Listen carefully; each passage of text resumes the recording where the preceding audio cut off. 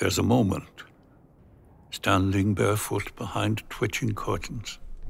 Nothing separating you from your audience but red velvet and the stage manager's cue. Stepping out of your skin and into a story.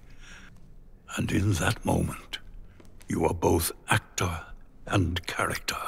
RTE a a fithe blion the haceocht than RTE All Ireland Drama Festival.